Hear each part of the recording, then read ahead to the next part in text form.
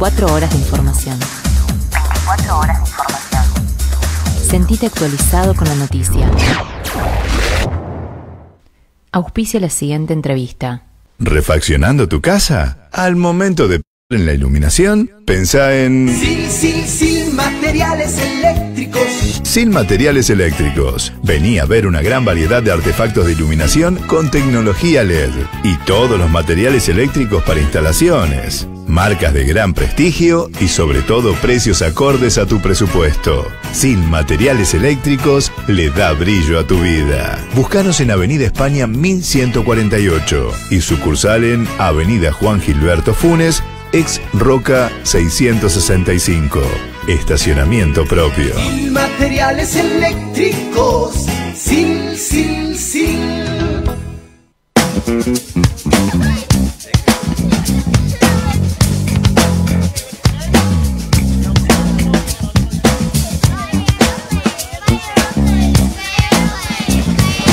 9 de la mañana, 45 minutos, último ratito, 10 minutos para charlar con el contador Claudio Zavala, que ya está con nosotros después de un fin de semana XXL. ¿Cómo va, contador? Muy lindo el fin de semana, muy buenos días, muchísimas gracias. Radio La Finor, Pablo, Sergio, todo el equipo. Un placer como siempre. Bueno, contador, ¿qué pasa con este famoso superdólar? ¿En qué términos está hoy? No, bueno, eh, queda bien en claro que el dólar blue este, se ha quedado quieto porque lo habíamos comentado. El dólar blue lo manejan los 20.000 más ricos del país, lo dispararon, tuvimos las consecuencias más terribles en el mes de julio, una inflación del 7.4. Sergio recuerdo que me decía, no, va a ser del 8, más del 8, dice la gente, dice Clarín. Yo dije, no, no va a ser tan alto, salió a 7.4. Este mes ya le voy dando, ¿qué, fecha estamos? Este mes va a ser mucho menor. la Hoy es inflación. 16. Ya, ya lo estamos, ah, no, grábelo, va a ser menor porque ya está. eh, los más ricos del país van a, de alguna manera, tener ahora varias reuniones con Massa, que las había anunciado Massa. ¿Eh? No, no, es realmente era, era un problema político acá. Acá tienen que los, los más poderosos no quieren pagar impuestos, no quieren pagar retenciones, quieren tener beneficios más Pre- que la sociedad. Pregunta, entonces, contador. Eh, el- vemos que el plan económico es el mismo. Por- perdón, el plan que viene, por ejemplo, que comenzó con su amigo, eh, sí, personal. bueno, Guzmán. con Guzmán. Después continuó con Batakis en este periodo de prueba, que fueron eh, algunos días nada más, y hoy continúa con Sergio Massa, pero vemos que, eh, más allá de ser el mismo plan, las determinaciones y las acciones son diferentes. ¿A qué se debe esto? Excelente pregunta. Primero, Bataki había comentado de que tenían que bajar el gasto este, del gobierno, es decir, sobre todo aquello superfluo, sub- sector por sector. Ya hubo un resultado positivo. Salió en muy poquitos diarios que había bajado el gasto del gobierno. En los, no es que iban a echar gente, porque ahí nomás la prensa amarilla empezó a decir que iban a echar gente, que no sé cuánto funcionó. No, en los sectores donde realmente no había un control minucioso, como lo hace la provincia de San Luis, programa por programa, mes por mes, donde se va viendo cada gasto, el ingreso, Sí, y sí, se va sí. Evitando de que después lleguen a fin de año con algunos excesos.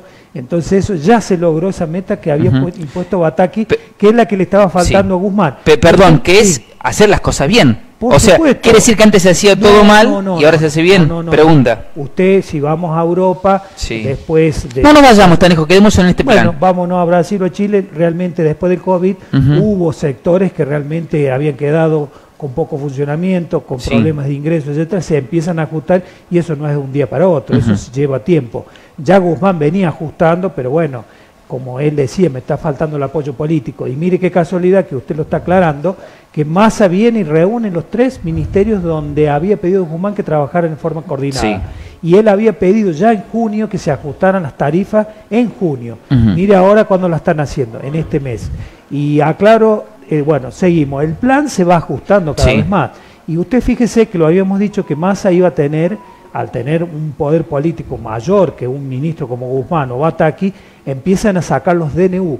Porque usted una medida una medida económica muchas veces necesita las leyes. Y el, eh, vos sabemos muy bien que las veces que, por ejemplo, metieron el presupuesto o alguna medida como la- el impuesto a las, a las, eh, eh, for- a las, las grandes fortunas. no, no, a las ganancias inesperadas que Sí. habían ocurrido por la, por la guerra de Ucrania, este, no lo pudieron aplicar porque no estaban las leyes.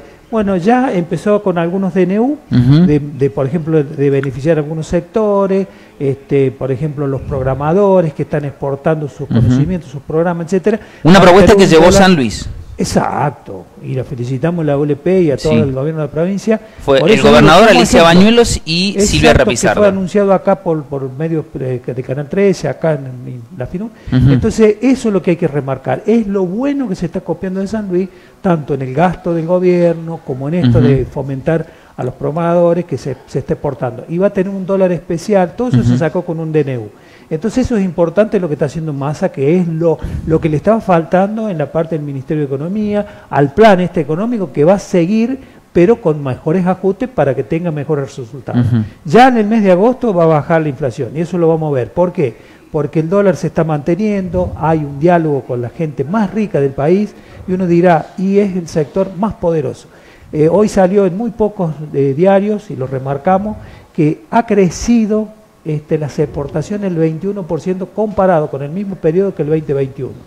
Está, ha crecido el PBI el 6% cuando ya en el Fondo Monetario, las veces que se habían hecho los acuerdos, tanto en abril o en la revisión de junio, decían de que no iba a superar el 5. Ya lo superó. Quiere decir que la Argentina, eso no sale en ningún diario hoy, ¿eh?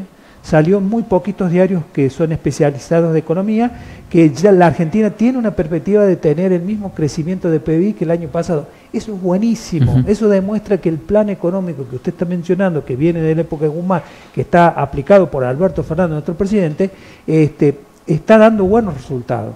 Y eso no se ve. Lamentablemente, la gente, que lo, lo dijimos el día viernes, está en nuestro ADN, los argentinos, que si bien no- en nuestra billetera tenemos pesos, pero nosotros todos pensamos en dólar. Eh, y sobre todo el dólar blue. Sí, Porque que cuando se disparó, sí. Exactamente, se disparó, todos remarcaron, todos remarcaron y nadie después bajó los precios. Y hoy salió un, este, un, un diario también especializado, tampoco los grandes diarios sale, de que eh, los, los consumidores cuando vamos al súper o cuando vamos a cualquier este negocio, pagamos cinco veces más de lo que recibe el productor por ese No, producto. obviamente. Cinco veces más. Entonces, en ese intermediario, que son los poderosos que distribuyen a todos los, los supermercados, todas las cadenas, que uno va a las góndolas, están todas compradas, es decir, uno va a los grandes supermercados, las góndolas están ya listas para las grandes marcas.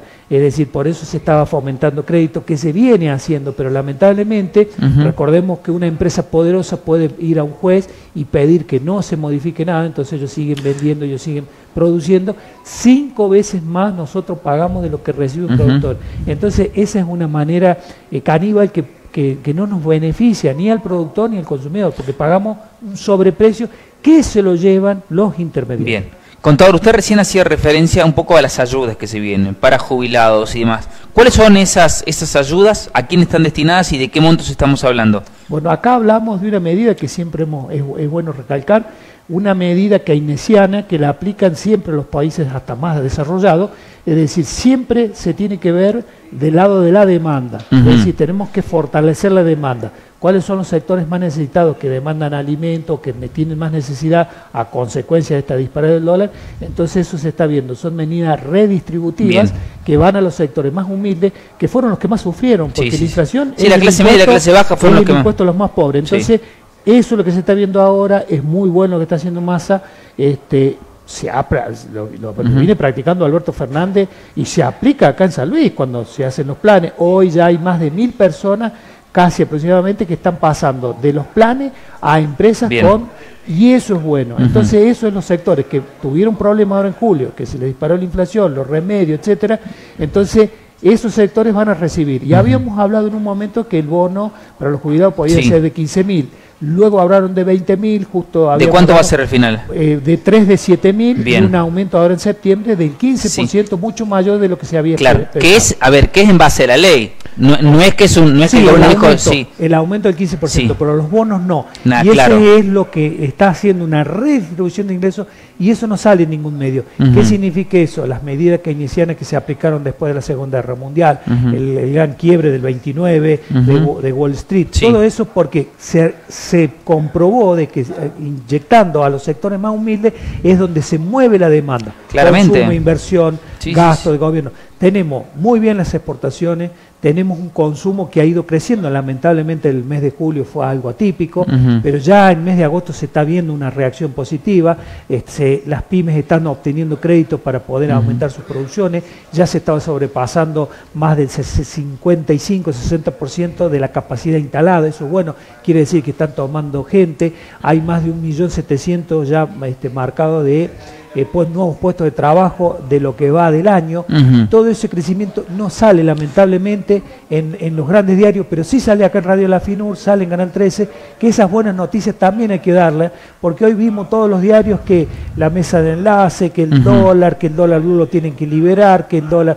Y no es así, porque hay también buenas noticias. Claro. Está creciendo el país, tanto en la provincia también. Esta semana seguramente va a haber muchos anuncios de entrega de obras, de nuevas obras, y eso es lo que debemos remarcar siempre en la economía. Yo como analista económico soy responsable de dar también esas Claro. buenas noticias. Contador, eh, vemos, hablamos de la inflación, una, una palabra que ya es prácticamente Sí. de nuestra vida diaria, y vemos que en varios puntos del mundo la inflación ya empezó a descender, empezó a bajar y a muchos puntos a estabilizarse. Inclusive el mes pasado vimos en, en- en varios países que empezó esta merma, otros dieron, eh, no dieron inflación, sino que dieron eh, a favor los números para traducirlo para que se entienda.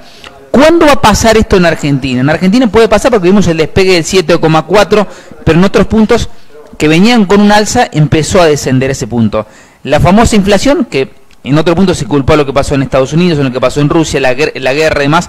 Bueno, esos países que tienen esa excusa ya han determinado, ya han empezado un proceso inflacionario de tranquilización. En Argentina, ¿cuándo va a pasar? Ex- Excelente pregunta. Primero, siempre en la economía todo está relacionado con todo eh, hoy en día por el comercio internacional. Sabemos muy bien que el conflicto entre Ucrania y Rusia empezó a disminuir y eso hizo que el, que el occidente, podríamos decir, Sí. empiece a calmarse un poco el comercio. Pero lamentablemente, y esto lo tenemos que anunciar, eh, de nuevo el presidente de Estados Unidos no puede solucionar sus problemas comerciales, entonces trata de buscar conflicto. Hoy ya nace otro nuevo conflicto, Taiwán y China, y lo incluye Estados Unidos. Ese es un conflicto que también puede traernos consecuencias de nuevo con el tema de los alimentos y que se genere Sí. otra inflación internacional. Parénte- paréntesis ahí, disculpe. Sí. Porque yo veo esto, ¿no? Que todo conflicto, Sí. todo conflicto, pase donde pase, parece afectar solamente a la Argentina, porque veo otros países de la región que más allá de los conflictos y las situaciones, logran estabilizar la inflación, logran bajar la inflación, pero Argentina parece tener siempre un discurso de es culpa de y nunca es culpa nuestra. Yo veo muy poco mea culpa en los responsables de llevar adelante el país. Y la inflación sigue generando picos o altibajos y en Argentina nunca se logra una estabilización o una merma. El ¿Por pro- qué? El problema de la Argentina, que ya lo hemos comentado siempre, lamentablemente tenemos un sector de la Argentina que son los más ricos que hoy venden alimentos. El mundo hoy está necesitado de alimentos. La Mercedes-Benz ha dejado de sacar algunas unidades por, por problemas de los costos que tiene de la energía, porque realmente este conflicto de Rusia le levanta. Entonces, ¿a qué viene todo esto? Que lamentablemente los más ricos del país buscan un fin de lucro y usted lo, lo estuvimos diciendo, un consumidor paga cinco veces más de lo que recibe un productor y eso se lo llevan los intermediarios. Los más ricos del país son los que manejan lamentablemente la economía. Es decir, un grupo muy pequeño son los dueños del 60-70% de la riqueza de la Argentina y el resto lamentablemente no tenemos un poder. ¿Y el Estado por qué no actúa como ente regulador ahí? Bien. ¿Porque le conviene esto? ¿Porque es amigo de ellos? ¿Porque es asociado a ellos? ¿O por qué no actúa? Lamentablemente en el gobierno anterior se derogaron todas las leyes monopólicas que siempre lo hemos repetido. El grupo Clarín, ¿por qué volvió a tener todo el poder? Porque se le derogó la ley donde le- no le permitía hacer monopolio. Claro. Y esas leyes son las que hoy les permiten a cuatro o cinco empresas de las más poderosas de alimentos del mundo que van a un juez y le dicen, mire, esta cautelar no nos permiten vender, inmediatamente un juez, por las normativas que tenemos, Claro. no hay una ley antimonopólica, Ujú. le deja que sigan funcionando. Por eso es muy difícil clausurar o, a- a- o poner una multa a las grandes empresas que son las que tendrían. Eso no pasa en Europa o no pasa en Estados Unidos. Por ejemplo, la- los grandes monopolios, llamémosle Ford en Estados Unidos, Sí, sí, sí, sí. Facebook, etcétera, siempre tienen una sanción que el gobierno los puede controlar. Bien. En la Argentina hoy esas leyes no están, lamentablemente no se pueden sacar porque las cámaras están divididas, es decir, están un 50 y 50, es imposible que se llegue a los quórum para poder que esas, esas leyes existían hasta el 2015, lamentablemente después fueron derogadas y hoy es el problema que tiene este gobierno. Este gobierno de, de- de- nacional no puede aplicar sanciones a las grandes empresas porque... ¿No tiene gobernabilidad justicia- económica este gobierno? Económica sí, el problema es que las leyes no lo están favoreciendo para poder este, de alguna manera frenar estos monopolios. Porque las, las leyes que están aplicando económicas son muy buenas, es decir, y ahora con los DNU vamos a ver eso. Y con respecto a usted a la inflación, y ya estamos dando primicia a la FINUR, de masa, de continuar con esta política del diálogo, de ir avanzando en cada uno de los ministerios y aplicar, digamos, las leyes o los DNU, que ya dijimos que va a empezar a sí, gobernar sí. como los DNU, como lo hizo muchos presidentes. Y ahora tiene esa libertad con de Alberto Fernández con masa para hacer los DNU, eso va a ir mejorando y vamos a ir viendo una tendencia a bajar la inflación. Bien. Pero todos estamos en el mismo barco y yo como responsable de, de- de analista económico tengo que dar siempre las buenas noticias y tratar de alentar a que las nuevas buenas conductas como consumidores, y si hay un producto caro, evito esa semana de comprarlo, lo compro la semana que viene, voy, busco algún producto. Esa es la manera de frenar. Si yo veo que el dólar blue se dispara un poco y me empiezan a aumentar los precios, y esa semana ajusto un poquito el bolsillo, trato de, es que no voy Bien. a comer, no, no, pero trato de, de- de- de no favorecer a esa ola de, de desesperación, ¿por qué? Porque si yo aumento el consumo, todos siguen aumentando. Bien. En el momento que un almacenero o un mayorista de acá de San Luis diga, no te bajo la mercadería porque no sé por qué me está aumentando, porque no hay ningún costo, ni de energía, ni de, de- de- de salarios que Ujú. te haya aumentado los productos, ¿por qué me lo aumenta? Esa sería una conducta. Yo como Bien. analista tengo que dar también las buenas noticias. Eh, tenemos un problema que es la inflación, lo más grave que la Argentina tiene y en Sudamérica y en el mundo, un país que lo tenemos, como dijimos Sí, el sí. viernes, en el ADN. Eh, nos desesperamos cuando aumenta un precio y dice, lo compro hoy porque ya mañana no lo voy a poder comprar. Si nosotros tuviéramos una conducta como lo tienen los chilenos o los brasileños, no nos vamos muy lejos, como decís vos, este, tuviéramos esa conducta. Y algo que quiero remarcar, no sé el tiempo, el tema de los subsidios de la energía, que los grandes medios están diciendo, tiempo, eh, los grandes me- medios están diciendo de que te van a aumentar en Salví tres veces la energía. Mentira total. A los porteños, a, a los que viven en Puerto Madero, a los grandes country que pagaban tres veces menos la luz, tres veces menos el agua, tres veces menos el gas, a eso sí les va a venir tres veces más caro. Muy bien. Pero al puntano, que estamos en la zona patagónica, que tenemos un pequeño subsidio por zona fría, que usamos mucho más gas. No va a pasar. El tema de energía, va a haber ajustes como fue anunciado, que Clarín y todos los grandes medios venían diciendo, viene el tarifazo, desde marzo y hasta la fecha no vino ningún tarifazo, sí va a haber un ajuste del 10-15% de acá hasta fin de año seguro. Muy bien. Pero no como están diciendo algunos medios radiales acá en San Luis y al orden nacional, que viene que tarifazo total. No va a pasar. Mentiras. Va a haber ajustes, sí, pero no de la magnitud de tres veces más.